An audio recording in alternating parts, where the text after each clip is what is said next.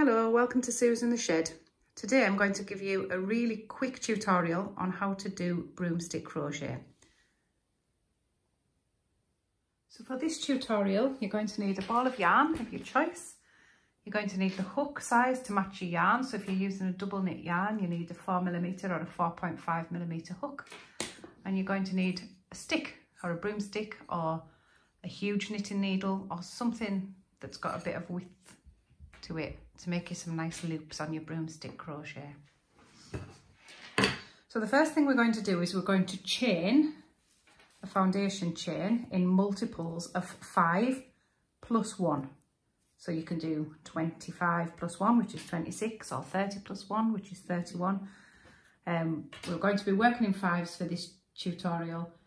Sometimes you can work in threes, sometimes you can work in sixes, but today we're going to work in fives. So we'll start by doing that. I will do four lots of five plus one, so 21. One.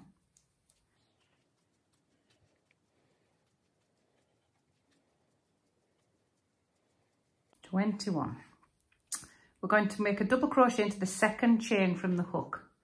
So it's not that one, it's that one. And a double crochet, hook in, draw your yarn back, yarn round, two off and into the next stitch. In, yarn back, yarn round, two off.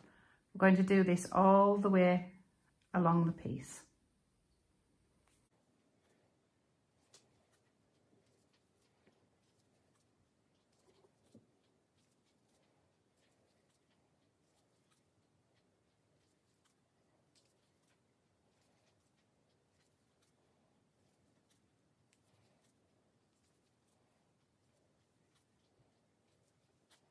Okay, so we've got to the end there and what we're going to do now is we're going to pull this loop large and you're going to put it over your broomstick. Now this is where it gets a little bit awkward because normally we'd be starting at this end and moving that way if you're right-handed, but we're going to be starting at this end and moving that way. So it's a little bit alien to your regular crochet, but if you have a look at the stitches that you've normally normally got these little V's. You put your hook under, you get two pieces of yarn over the top. We're just going to use them as normal. Now we're already in that one. So we're going to go into this one. We're going to draw the yarn back. We're going to pull it large and put it on your broomstick. Pull it tight. Not too tight, you don't want them too tight, just comfortable. Go to your next stitch, hook in, draw your yarn back, pull it large, split the stitch there and pop it on your broomstick.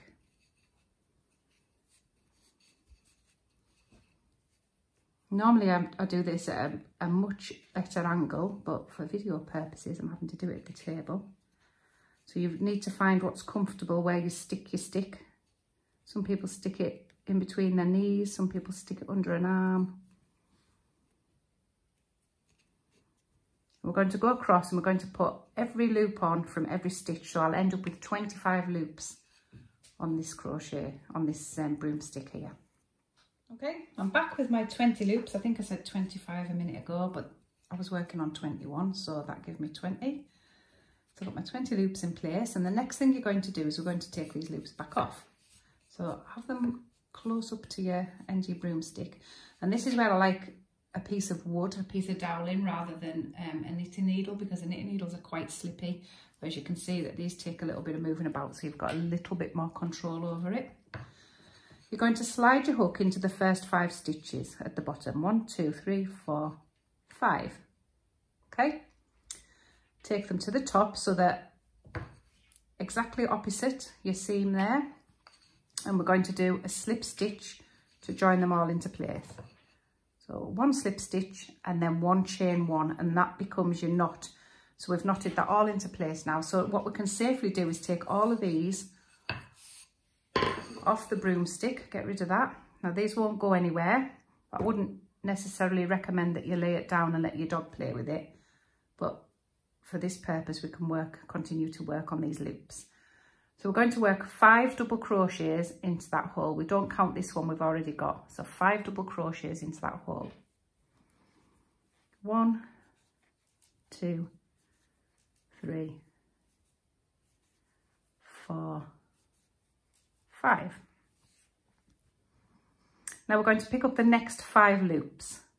So one, two, three, four, five. And we're going to work five double crochets into that. So we start with the one, pull it through all the loops to start and two off. That's one. Open up your loop and do another four.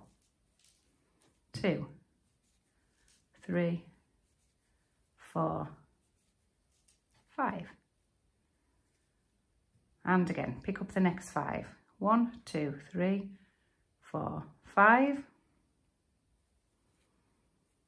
Start your first double crochet, fetching them through the loop and take the two off. Open up the hole and do another four. That's two, three, four, five.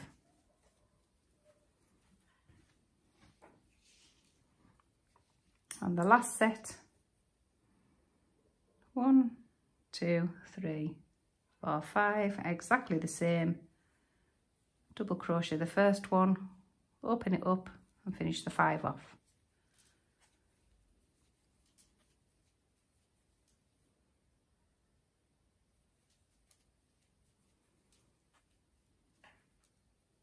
Okay, so we've put five double crochets into each of the five sets of loops.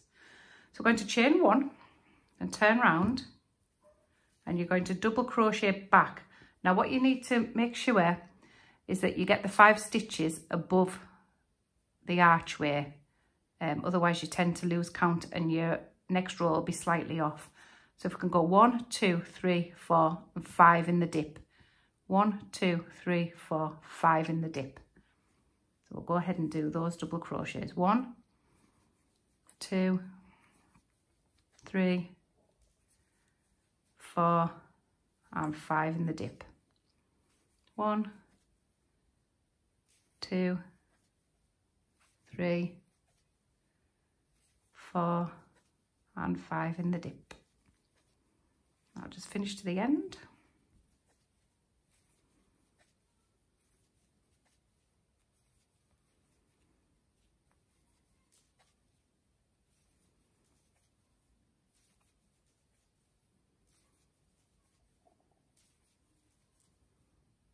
And five. And what we're going to do now is we're going to pull that large.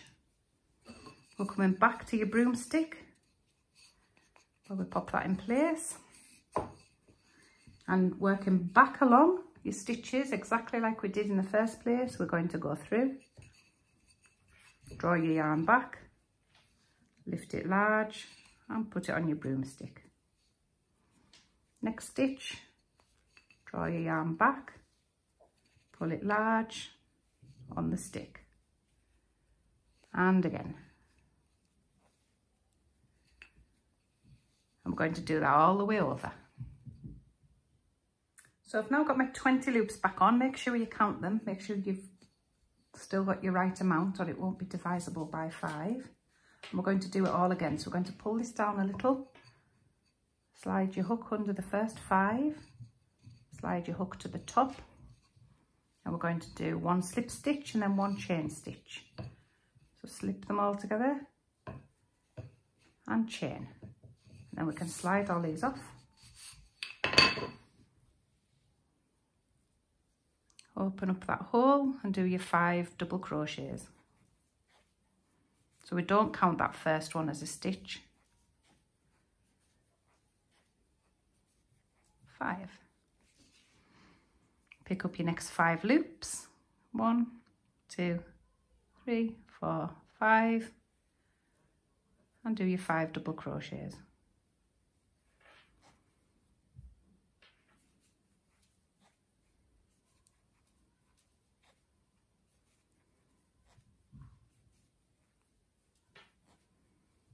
Your next five loops.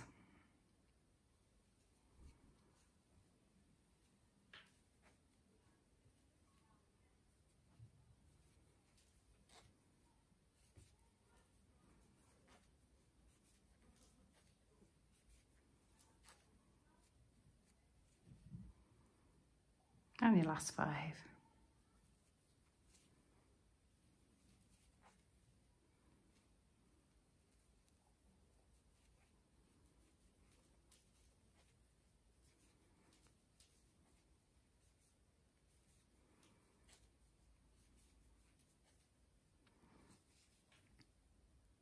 and your next row is chain one to turn and you're going to double crochet into every stitch. That includes the very first one each stitch making sure your five sit on top of your five.